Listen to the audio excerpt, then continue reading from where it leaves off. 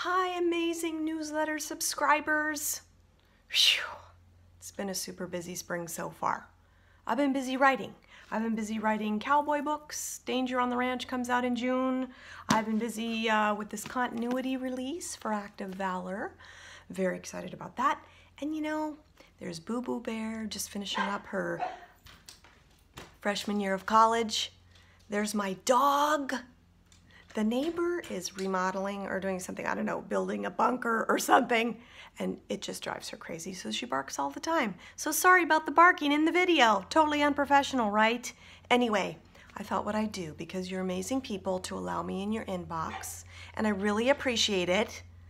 I just randomly assigned everybody a number on my uh, uh, newsletter list, and I decided I'm just going to pick five people to win prizes. So here they are. Here are the five prize winners I picked. And if I picked you, just send me an email, give me your address, and I'll send you your prize.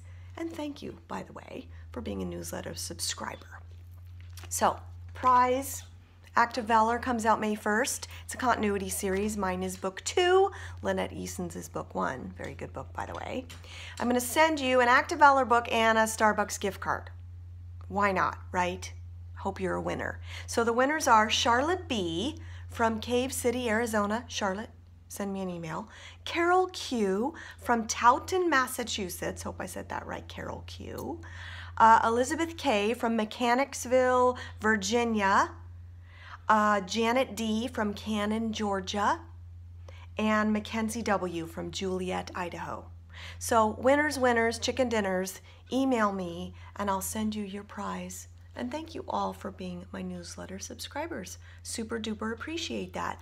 This book launches May 1st. So if you could do a shout out on your social media pages, I would so appreciate that. But anyway, I hope you enjoy the book. I hope you're having a great spring and God bless.